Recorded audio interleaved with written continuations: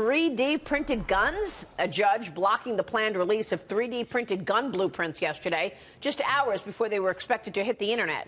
Defense Distributed, uh, the company that makes the designs, plans to make them available online for virtually anybody to see them and to download. The judge siding with at least eight states plus D.C. that are suing the, to halt publication of these designs. Joining us right now is Judge Andrew Napolitano, Fox News senior judicial analyst. Judge, good to see you. Good morning. So it's just the plans to make a 3D gun. Yeah, this is, even though the, the right to keep and bear arms is protected by the Second Amendment, this is a First Amendment case. This is a case about the freedom of speech because you have a document which is truthful and accurate and scientific, which the State Department, inexplicably, it's a head scratcher, told the young man that created it that he could start posting on uh, on the internet. Uh, so it's it's an expression of an idea, and the court uh, is stopping him from doing so. When, when did the State Department say that it was a good idea? Oh, gosh, within the past month or so. See, he originally posted it and people were buying it overseas. That makes it regulable by the federal government. Are you selling something overseas without a license? He persuaded, his lawyers persuaded State Department lawyers that he wasn't selling it. He was just posting plans for it. He doesn't provide you with the, with the gun, he just provides you with the plans. So the, the Mike Pompeo State Department said, even though there's a federal statute, that prohibits owning, possessing, transporting, or manufacturing a gun without a, a, piece of, without metal in it. It's called the Undetectable Weapons Act of 1988, Reagan era. There was no impediment to posting this. So he posts it. It was downloaded by about a thousand people. I think it was downloaded by more people. There are actually more than one version out.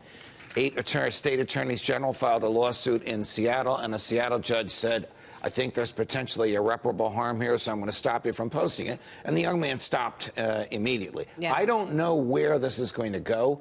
I don't think, I just read the judge's opinion a, a few minutes ago, I don't think he adequately addressed the First Amendment issues. First Amendment issues are these can the government engage in what we call prior restraint? This is not punishing speech after it comes out of your mouth. This is preventing it from coming out of your mouth. This is this is something rarely, if ever, done in American history. Uh, but this judge has done it. I think he'll be reversed by the Ninth Circuit. I mean, think about it. You can go into a public library, a library owned by the government, and find a book telling you how to make a bomb. You can find a book telling you how to make a plastic gun. Why can't you find this on the internet? Hmm.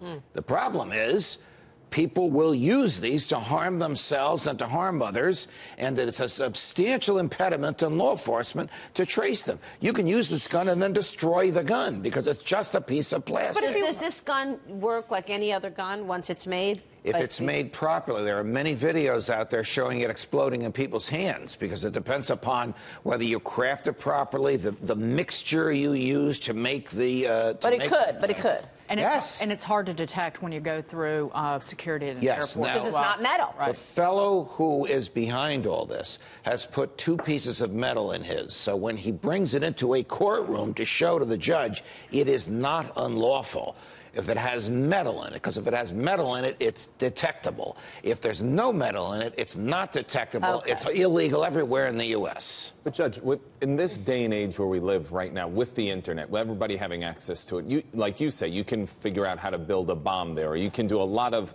bad things that you right. can learn on the internet.